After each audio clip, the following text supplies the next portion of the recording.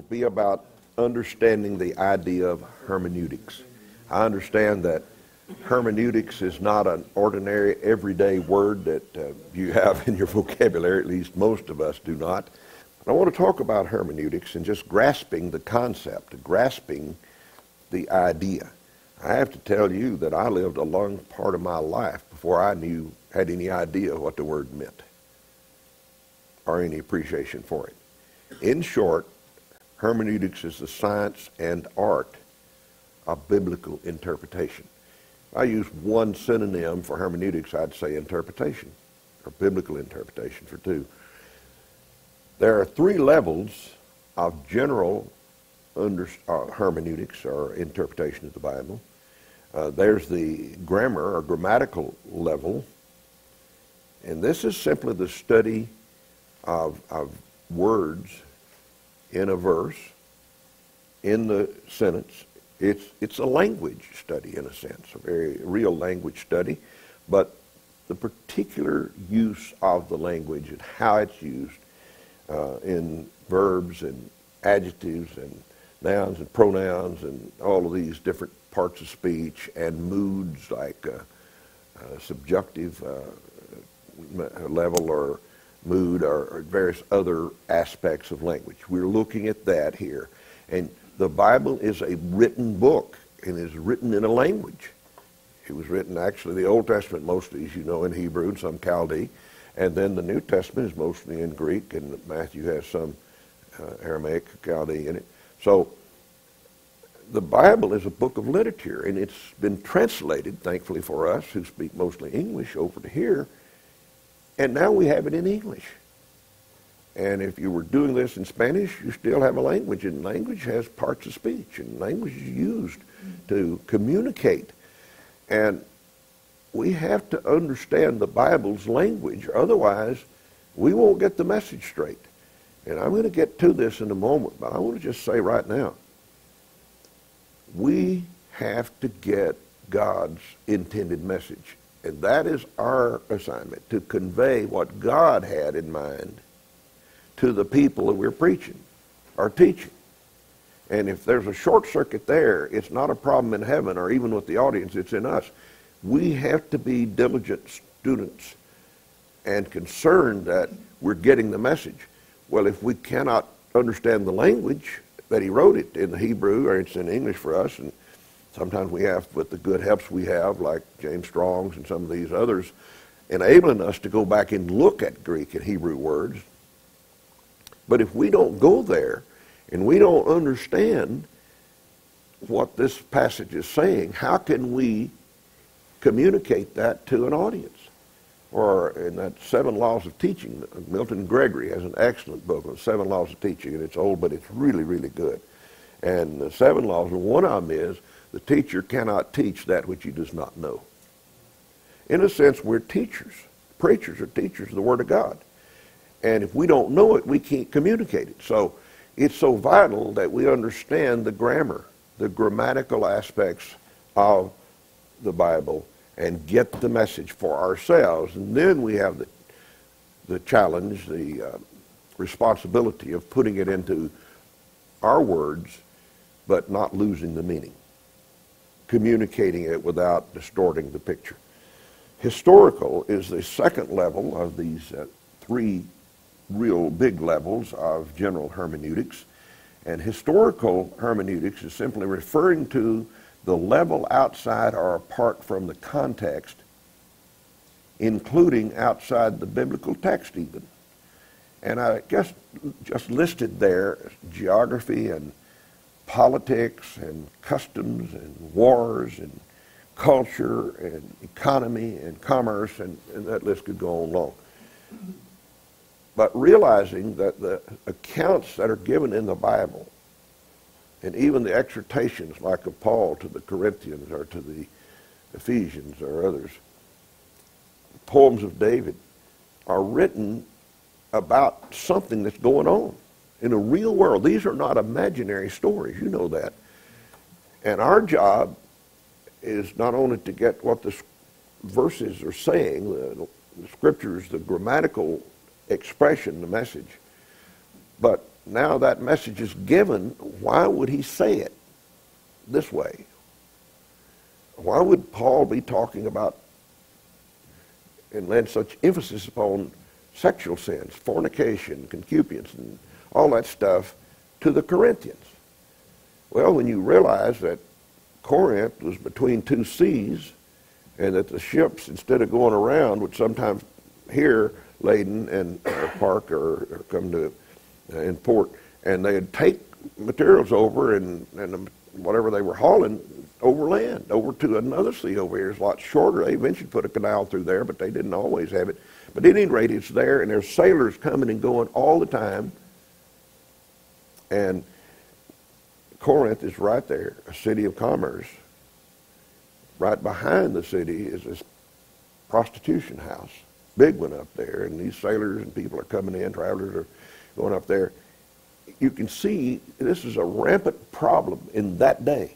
It helps if you know a little of the history. I, have just preached through the book of Esther, and and this was tremendous eye-opening to me when I began to do a little historical research, and Herodotus, a Greek historian, wrote a lot about what was going on, and realized that that uh, Xerxes, the king, the Ahasuerus, that's the name of the king, uh, but the personal name was Xerxes.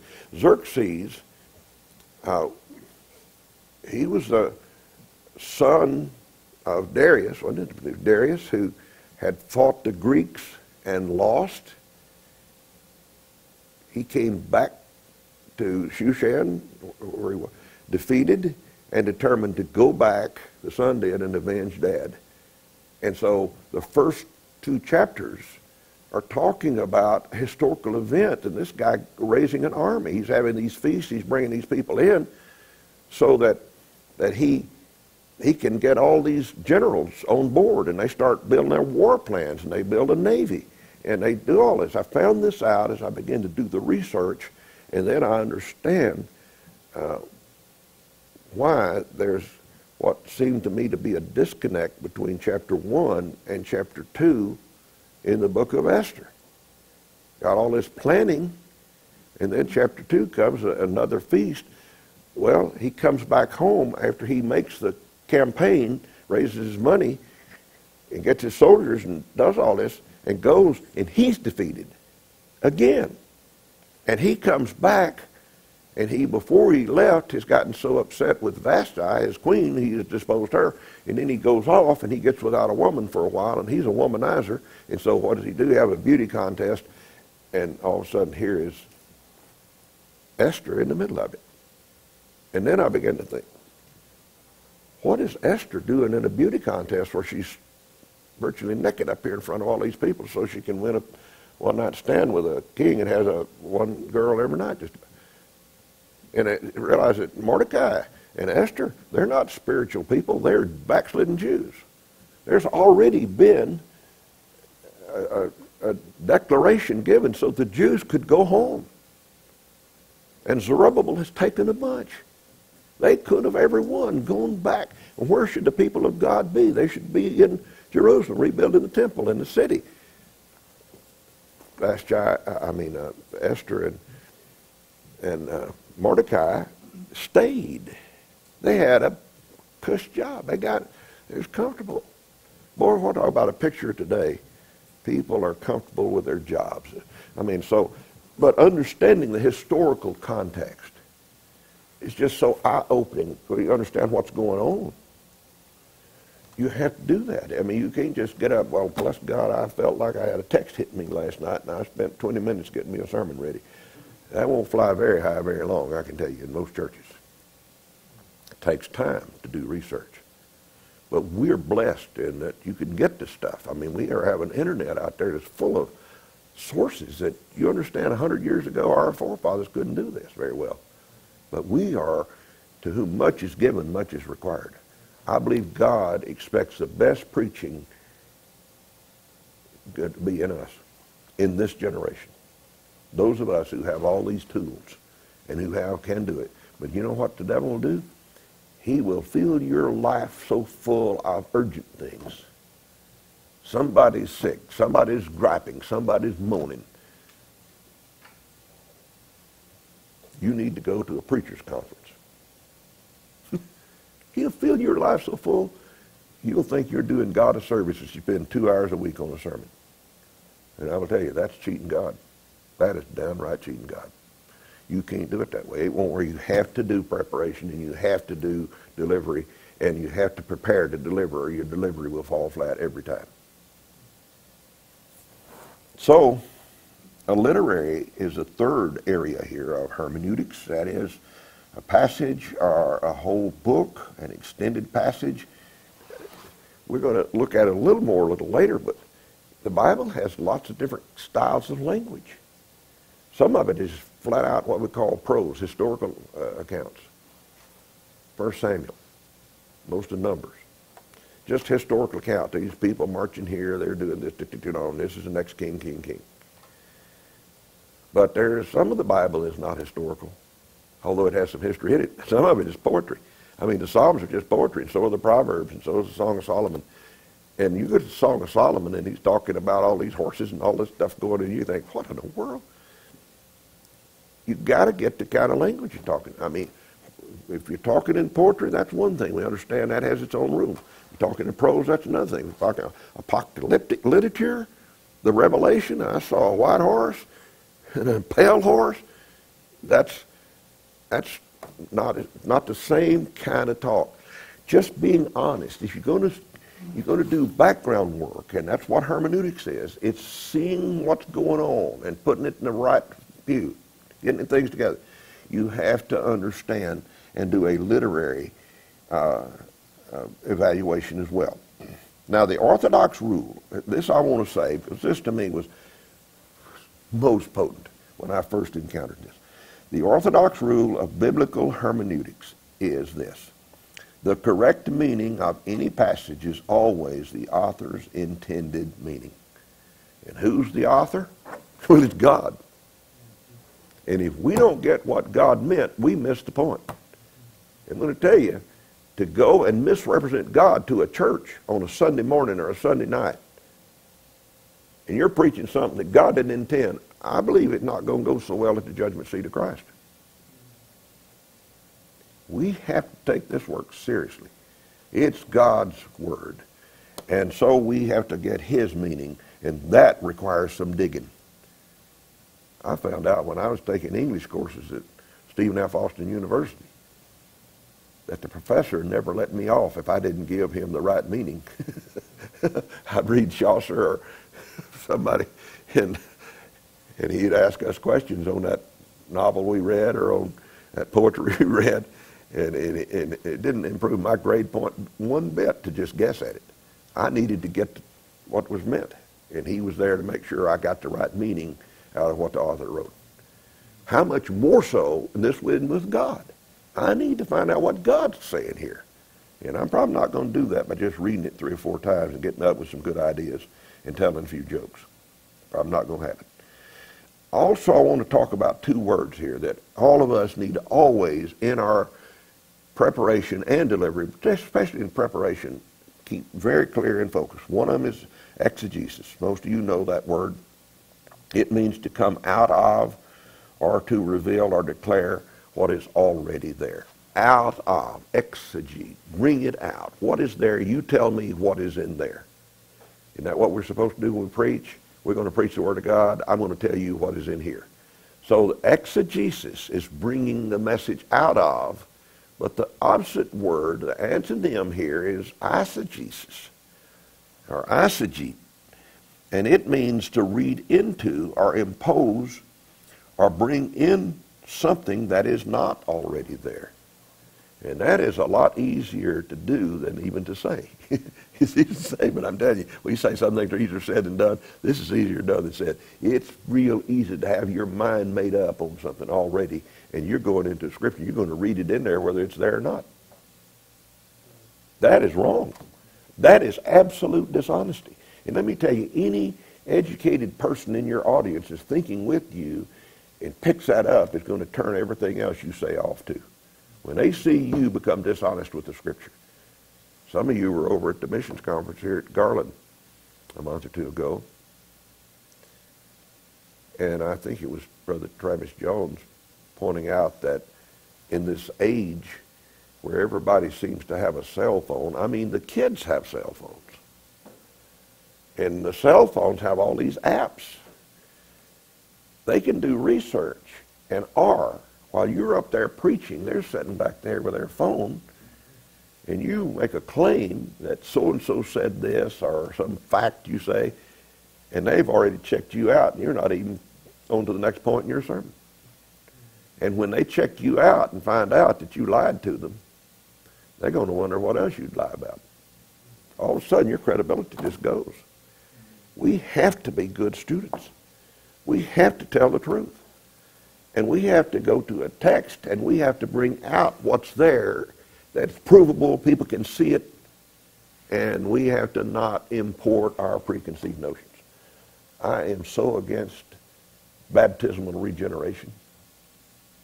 I mean, I don't believe that anybody ever got their sins washed away in a river or a lake or a baptistry, but every Church of Christ over here at Abilene and everywhere else believes in baptismal regeneration. And I'm, I have a preconceived notion against it. So naturally, if I'm reading through the Bible and I find a scripture, like whosoever believeth and is baptized shall be saved, I already know it doesn't mean baptism regeneration. And I think I'm on solid ground. I think all of you here and me probably know this too. However, I ought to be honest enough to say, I'm not going to say that's not what it's talking about just because I don't believe in baptismal regeneration. I ought to say I don't, I don't believe that because I've studied it and I, I see what it does mean. It's easy to read in. And that's an easy one because we all are against baptism and regeneration. But there's a bunch of others where we can really find ourselves already knowing before we went. My mind is already made up. Don't confuse me with the facts. oh, me? You know what I'm talking about. This is what I mean. We cannot allow that to come into our preaching. We cannot. Since the oldest book of the Bible was written approximately 3,800 years ago, a little longer, and the last book was about 1900 years ago. There are four gaps that especially demand hermeneutical work because we're looking at the Bible that ended way back there. So here they are, and I've listed them on the sheet. Historical, that is, what was going on back then. Cultural, what on God's green earth was David doing walking on the top of his house at night? Well, they didn't build houses like subdivisions in McKinney, Texas. They built flat roofs and had patios up there. Sometimes it was cool up there at night, and they'd go up there and hang out. That's what he was doing when he saw Bathsheba. If you don't understand something about the culture, that won't make any sense to people out there. What are he doing on top of his house at night? And most of us who've been around the Bible a long time like me, I just hear it and I just I've heard that so many times, I don't even question it. But you think a lot of these new people that are there, they're questioning everything. I mean, that don't make sense to me. We have to put ourselves in the mindset of where's that student, and I have to understand, I got to communicate this message to that person in this new world of new thinking. Linguistic, that is, again, language, those issues, and then philosophical. Philosophical. I'm not going to get into the Calvinist and Arminian argument here, but you have a philosophical position, especially in a Calvinism. It's a what they consider to be logical philosophical view. If this means that, that means this, that means that, then it, then it has to be this. Well, uh, we need to look at that sort of thing. I won't go into that much more, but let's move along. Uh, scripture has one meaning, but it may have many applications. I, I had to put that in. Uh, whatever the Bible has written, has written, it's written, it's talking about an event or it's talking about something that did happen, going to happen, uh, some idea, truth at hand. One, when you say that this scripture has two meanings, well, now who's going to figure that out? You got yourself off into a quicksand big time.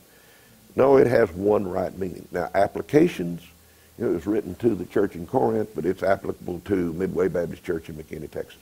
Lots of applications. Truth, application to a job, House divided against itself uh, cannot stand. Now, that applies to work ethics. I mean, a, a workplace. It applies to a home. It applies to a church. It applies to a lot. Not an application, but one truth. Also, when the literal sense of a scripture makes sense, seek no other sense. That is just a fundamental law of hermeneutics, and that's a good one to keep right in clear you.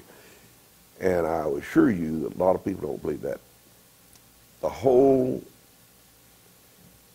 debate over creation versus evolution, at least from the theological, the seminary sides, those who believe in theistic evolution and those types, most all of them will deny this particular rule of hermeneutics right here. Now, the literal sense. In the beginning, God created heaven and earth and so on, right through Genesis chapter 1. It makes sense. Why should you seek some other sense? I said, no, that's not, can't be literal. It's uh, figurative. That's figurative language, and therefore it's not a real Adam. It's just a representative of humanity. And, I mean, they just go on with all this watering it down and watering it down. When the literal sense makes sense, when Jesus said, I am the vine. Well, now you know he was not a grapevine. He was a human being. He was in the flesh. They crucified him. So there are times when there are language you realize the literal sense doesn't make sense. You realize he's got a truth. He's making a point. He's like a vine. But you have to be, it's not always easy to tell. But it must concern us. Where is this going to concern us most? Not when we're up there waxing eloquent in that pulpit. It's going to concern us most when we're in that study and nobody's looking. And we're tired. It's easy to go to sleep, you know. We were talking how easy, especially if you've got sleep apnea or something, and you get in there, you start reading, and in 15 minutes you feel like you wake yourself up. But there's where it has to happen in the study. That's in the preparation part. Hermeneutical analysis, and I will get through here pretty quickly. Four primary analyses which should always be applied in scriptural research. This is in the study. I say that again, in the study. Four primary analysis. Number one, a historical cultural analysis. Historical, cultural, and contextual. You could make five out of these if you want to make contextual in its own self, but uh, in the context of the things that are going. You understand that all of the Bible, even in the New Testament part, was in an agriculture or what we call an agrarian society. They raised crops. They were raising wheat and running sheep around the mountains and doing that kind of work. Can, can you imagine uh, bringing King David to Houston, Texas. what he would think. All these freeways and these cars. Can you imagine the Apostle Paul going into a textile mill or into an assembly plant and a car, you know, where they make automobiles? It's a different world. We're, an, we're not an agricultural society. There's a lot of agriculture, but we're an industrial society. There's a world of difference between those two societies. Understanding that the Bible is written in a day when there's a whole different culture, different kind of everything going on.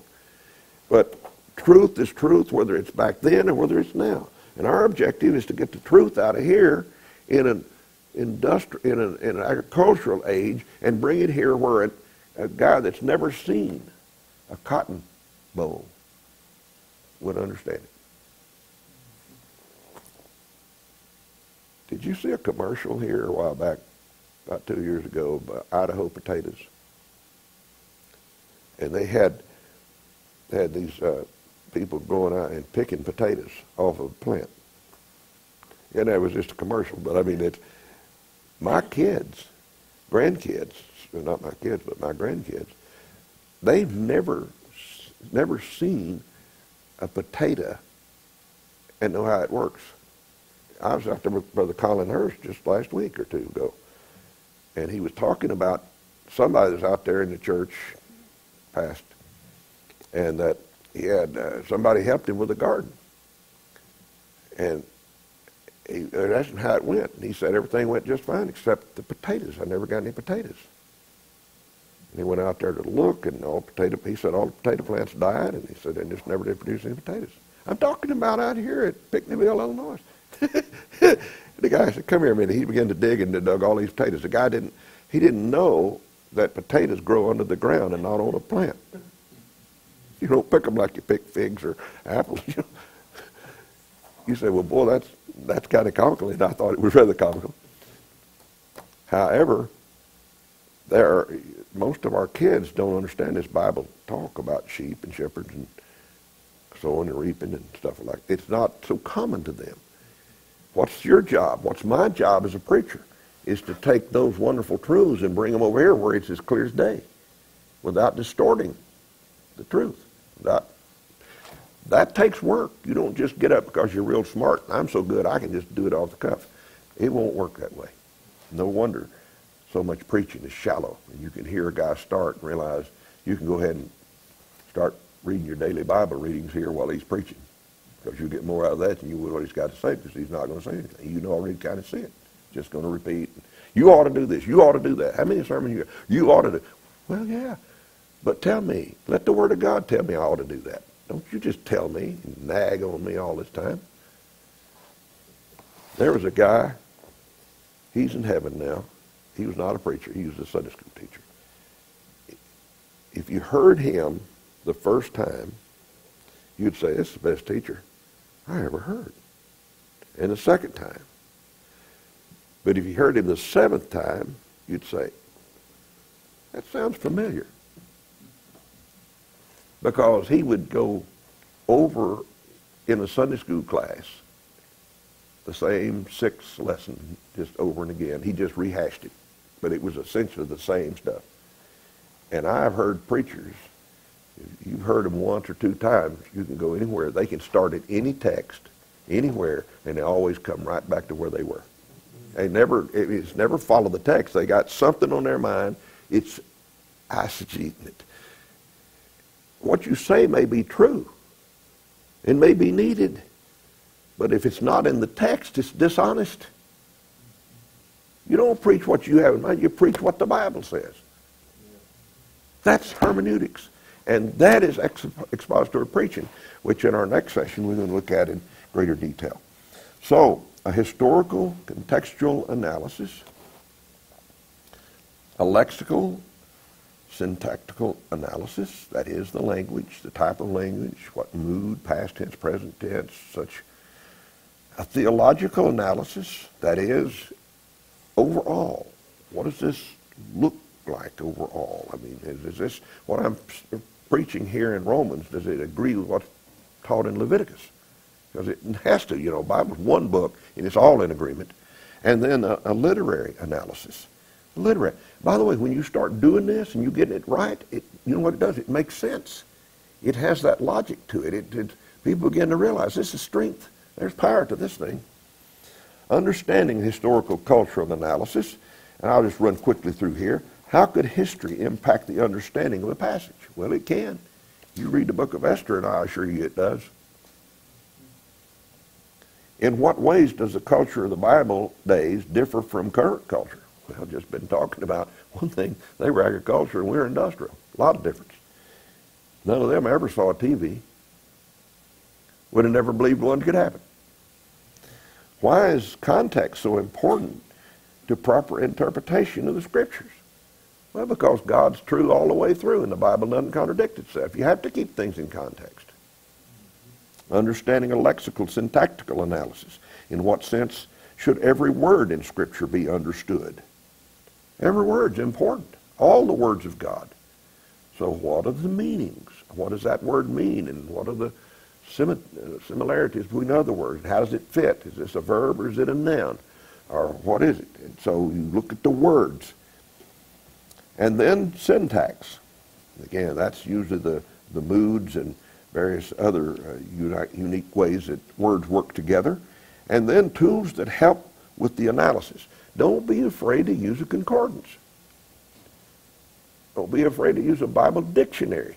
Goodness, uh, James Strong is the best, most available. I don't say it's the best necessarily. I think it's good, but it's it's there. You can get it a free download right onto your computer, and you can go over there and you can see the word in Hebrew or in Greek, and you can see exactly what uh, he says. And if you want to get into it deeper and say, I would like to know a little more about that word, and maybe its etymology, where did it come from, how did that word a, a rhyme, go to somebody like A.T. Robertson. His word pictures or word studies in the New Testament there. W. Vine's got a lot of good stuff. And there's, there's good helps. You know, we, we do not have to invent the wheel. It's already been invented. And we can help with other things, but why not use tools that are there, that are good, that have been proven tools through the years? And understanding a theolo- theological analysis. Well, uh, we could talk about salvation history, and that's a big thing when you get to looking at it more. And then dispensationalism, I think, uh, again, you, you know about uh, dispensations, and I believe in some dispensations, but you got to be careful how much you swallow of everything. Just look before you buy the whole package. I found that very few things are 100% pure except the Bible. Most everything has a few. You learn how to eat the chicken and throw those bones away. Then covenant theology. That's a big thing. You know, there's a lot of the uh, denial of the Jews and things that come out of covenant theology today, and you know, taking away not being behind Israel. And then a, a literary analysis, the importance of understanding the type of literature in of any given Bible passage. And the three prominent genres of literature in the Bible are prose, just plain old historical accounts. And there's poetry, like so many of those middle books are. And then there's prophetic language. We have the prophets, and especially the apocalyptic literature of the Revelation. And then there's figures of speech that come in here. And figures of speech in English and figures of speech in Hebrew or Greek are not always exactly the same. But there are similes, you know, things where you see like and as, as is the mother, so is the daughter, like as. And then the metaphors, which are uh, not so like and as, but they're, they're little truths that communicate an idea, like little analogies that are made. Ironies, things that seem to be contradictory, strangely put together, paradoxes, uh, opposites, personification, where a you know wisdom, like in the Proverbs, is like in a person. Wisdom hath her voice, and so on. So there's all these figures of speech that have to play into preparing. And then an extended simile, just to give you some quick looks, an extended simile is called a parable. An extended metaphor is called an allegory. A compressed parable or allegory is called a proverb. The longest book in the Bible is a book of songs about all things. And the two most common types of psalms are praise psalms and lament psalms. There's a lot of, Psalms is a great book. Hebrew poetry achieves poetic flow by repetition, comparison, and contrast of thoughts. In English, it's that pentameter, you know, five things and something. Not so in Hebrew. You, uh, the Lord is my shepherd, I shall not want. That's poetry. The Lord is my shepherd, I shall. You see the connecting of thoughts here. And I will tell you, the, the three, there are three main types of parallelism in Hebrew poetry. And I will just tell you that you might want to write down, because they're not in the notes. I don't think we got them in the notes in time. Is synonymous poetry. Uh, that is when two, when a thing is compared, you have two statements that are just alike, or not exactly worded the same, but the same idea. Synonymous poetry, and then there's antithetic, A-N-T-I-T-H-E-T-I-C, antithetic Hebrew poetry. That's when you have two ideas instead of being synonymous ideas, they're contrasted ideas. One's opposite of the other, but they're parallel thoughts on the same issue. And then the third is the climatic uh, uh, comparisons where you have two together and one really does excel at, at the top of the climatic. That's worthy of study, fellas. I will tell you, really, really worthy of study. Particularly if you're going to do a study in the Psalms, you have to get into that. And then the type of Bible literature that makes the greatest use of symbols is called apocalyptic literature. And apocalyptic literature is normally prophetic in nature. It's talking about things to come, like the book of the Revelation. And once a student has a- analyzed a passage and exegeted the meaning, he, he should do these things. He should verify the validity of his work by comparing his finding with others who have spoken with authority on the passage. And I'm just talking about a safeguard.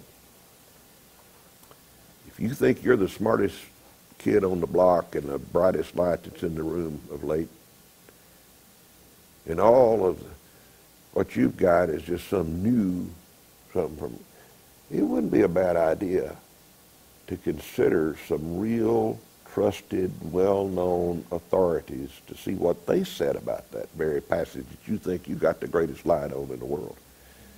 and if you're left foot first and they're all right foot first, you might want to consider.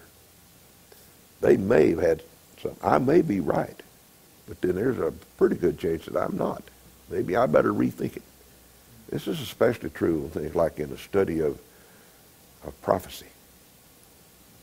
You know, we got these prophetic events, and some talk about a rapture and a tribulation and a appearance of the Lord in, in glory and the setting up the millennial kingdom and, you know, those events. So you come up with some better idea. You better look it over. You might ought to go see Dwight Pentecost book and read on it a while and some of these other books because they were not all dummies and they spent some time in the book too. And to think that you're smarter than all of your compadres all around the world for 20 years, I mean, uh, 2,000 or even 1,000 years or 500 years, is pretty, uh, pretty cocky. You got to just think, uh, maybe I better listen to somebody. I may be right. I may see something they didn't see. But it's a good thing to compare your findings with some other findings before you run up on a flagpole because once you get up on a flagpole and start preaching it and then you got something to defend. If you didn't see you're wrong, you got to say, I was wrong. and that's not in our vocabulary, is it?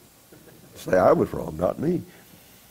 He should identify, after you've done your work, the timeless principles of the text with a view of accurately conveying them to a contemporary audience. You've done all this work, but as we're going to see in just a bit, you're not ready to preach yet. You just done, done a lot of work. You understand a lot of things you didn't, but you haven't put it together in a presentable way. And then, once that student's analyzed the passage and exegeted the meaning, he should realize that at this point he has done nothing to prepare his findings for presentation to the audience. Just got the facts out there. Just got something to preach, but I'm not ready to preach it. And under that, he should therefore be aware that his work is far from over when you get through with your research, your work's not near. I did a lot of hours of research before I wrote this little book called The History of Churches. Lots of hours of research.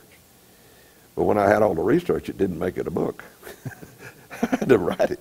Then I had to put it together in some fashion, you know. Well, that's the way it is, maybe to not that quite extent, but in preaching, you, you, you do all this work, and it's wonderful. But then you got to figure out how am I going to communicate it honestly to this audience. And before him now is the tremendous responsibility of organizing and presenting the message of God to his audience without distortion. Did you hear? Without distortion. That's the hard part. To say it clearly, because just keep in mind, you got an audience paying attention. Some of them know a few things. But uh, most of all, God is listening to your sermons. He knows what he meant. Okay, messenger, you going to say it what I said? Or are you going to distort my message to these people and say you did it in the name of God? to me, that's a fearful. I mean, it's awesome. It's a fearful thought to realize that I would misspeak for God. After all, we're speaking for him.